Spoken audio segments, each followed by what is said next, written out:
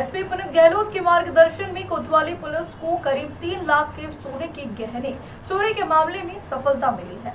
SP Puneet Gehlot के मार्गदर्शन में बड़वानी थाना प्रभारी दिनेश कुशवाहा ने 16 फरवरी को ब्रज बिहार निवासी भावना कचनारे के घर में चोरी की शिकायत पर दर्शन और उसके दोस्त जीतू उर्फ़ जितेंद्र यादव को मुखबिर की सूचना पर गिरफ़्तार कर उनसे पूछताछ करने पर दर्शन ने बताया कि नशा करने के लिए अपने ही घर में सोने के गहने चोरी किए थे। पुलिस ने आरोपियों के कब्जे से करीब तीन लाख के सोने के गहने बरामद कर दोनों आरोपियों को जेल भेज दिया है। इंदौर संभाग से अमजद मंसूरी की रिपोर्ट।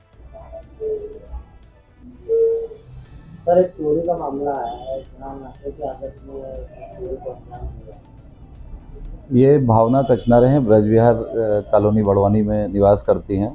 विगत दिनों इनके यहाँ पंद्रह तारीख को ये कहीं बाहर गए हुए थे तो घर पे ताला लगा के गए थे। जब ये सोलह तारीख को वापस आए, सोलह फरवरी को तो उन्होंने देखा कि इनके घर का ताला टूटा हुआ और घर की अलमारी के भी लॉक टूटे हुए थे, सामान अस्त व्यस्त था।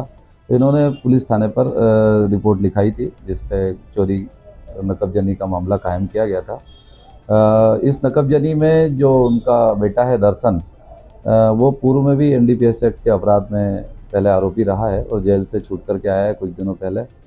तो उसकी जो अपने मुखबिर और जो हमारी टीम थी, पुलिस टीम जो लगी हुई थी, उसके ऊपर लगातार श्रीमान एस महोदय पुनीत गहलोत साहब के द्वारा भी निर्देशित किया जा रहा था नकबजनी और चोरी के अपराधों में। तो इसके ऊपर हमारे मुखबिर के द्वारा जो सूचना मिली और उस पर जो निगाह रखी जा रही थी तो इसकी गतिविधियाँ संदिग्ध दिखी इनके बेटे की।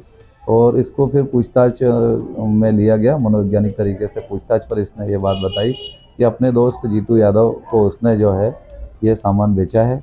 ये उनके घर से सोने की चेन, टॉप्स, झुमकी आदि करीब तीन लाख रुपए का जो सोने चांदी के जेवर थे, वो इन लोगों ने चोरी करके और उसको बेच दिया था।